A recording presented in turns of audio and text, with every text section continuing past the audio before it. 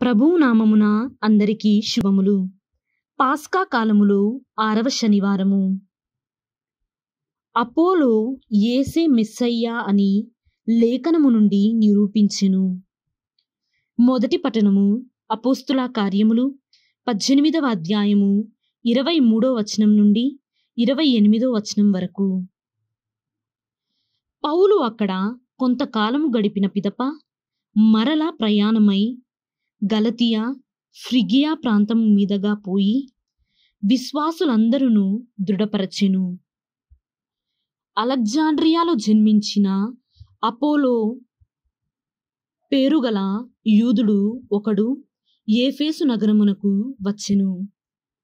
అతడు మంచి వక్త లేఖనముల యందు క్షుణ్ణమైన జ్ఞానము గలవాడు. అతడు ప్రభు మార్గములో ఉపదేశమును పొంది యేసును గురించిన సత్యములను గొప్ప ఉత్సాహముతో బోధించుచూ ఉండెను. అతనికి యోహాను బ్యాప్తిజమును గురించి మాత్రమే తెలియను. అతడు ధైర్యముగా ప్రార్థనా మందిరములలో ప్రసంగించుటకు మొదలెడెను.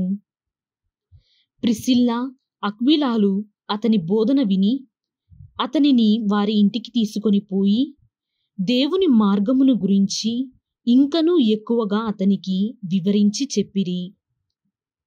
అపోలో గ్రీసు దేశమునకు పోవుటకు నిశ్చయించుకొనినందున ఏఫేసులోని విశ్వాసులు అతనిని ప్రోత్సహించి గ్రీసు దేశములోని తమ సోదరులకు అతనికి స్వాగతమిండని ఉత్తర్వులు వ్రాసి పంపిరి.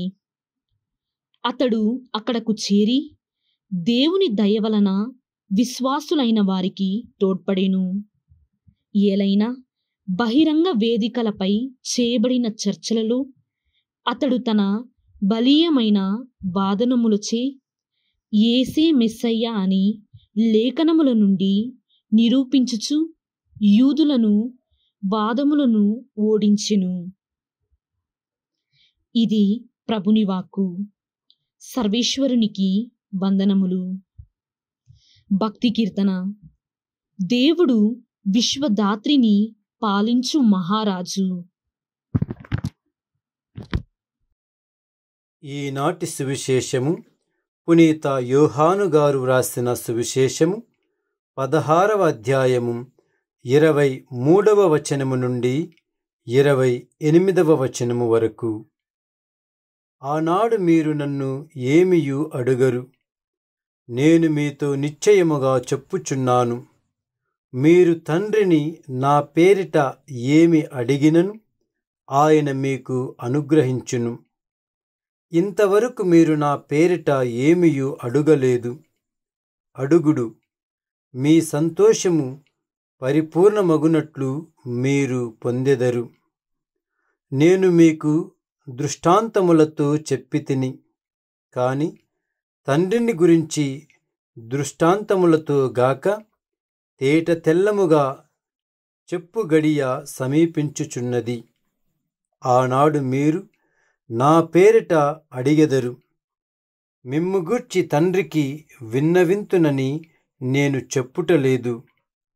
మీరు నన్ను ప్రేమించి నేను దేవుని ఎద్దు నుండి వచ్చి తినని విశ్వసించితిరి. కనుక తండ్రి స్వయముగా మిమ్ము ప్రేమించును. నేను తండ్రి యొద్ద నుండి బయలుదేరి లోకములోనికి వచ్చి తిని మరలా నేను లోకమును విడిచి తండ్రి యొద్దకు వెళ్ళుచున్నాను అని పలికెను. ఇది క్రీస్తు సువిశేషము.